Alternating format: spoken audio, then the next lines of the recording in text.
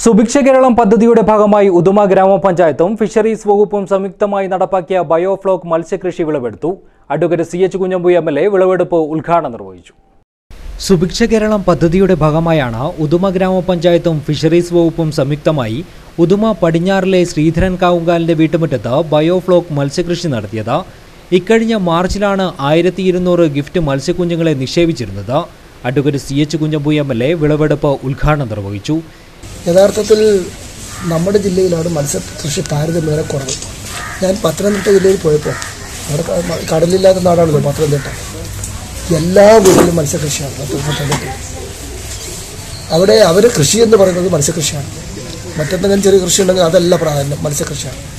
അവർ കയറ്റി അയക്കുകയും ചെയ്യുന്നുണ്ട് നല്ല തോതിൽ ഉൽപ്പാദനം നടത്തുകയും ചെയ്യുന്നുണ്ട് പിന്നെ നമ്മളത് ഇപ്പോഴാണ് നമ്മൾ തുടങ്ങി മുമ്പ് ചെയ്യുന്ന കുറച്ച് ആളുണ്ട് അവർ സ്വന്തം നല്ല ഭൂമിയുള്ളവർ അവർ സ്വന്തം കുളമുണ്ടാക്കി അതിലൊക്കെ ചെയ്യുന്ന കുറച്ച് പേരുണ്ടായിരുന്നു. പക്ഷെ ഇത്ര പ്രോത്സാഹനം ഒന്നുണ്ടായിരുന്നില്ല ഈ അടുത്ത കാലത്ത് ഈ പദ്ധതി വന്നതോട് കൂടിയിട്ട് എല്ലാവരും ആ രംഗത്തേക്ക് വന്നു. ഉദുമ ഗ്രാമപഞ്ചായത്ത് പ്രസിഡന്റ് പി ലക്ഷ്മി അധ്യക്ഷത വഹിച്ചു. ഗ്രാമപഞ്ചായത്ത് അംഗം ശകുന്തള ഭാസ്കരൻ മുൻ അംഗം K V Appu Kanhangad fisheries officer Prameela Subhiksha project officer Ashwin Krishna Rameshan Koppal തുടങ്ങിയവർ സംസാരിച്ചു. ഫിഷറീസ് വകുപ്പ് പ്രൊമോട്ടർ അജിത് കെ ബാലകൃഷ്ണൻ സ്വാഗതവും ശ്രീധരൻ കാവുങ്കാൽ നന്ദിയും പറഞ്ഞു. News bureau Uduma.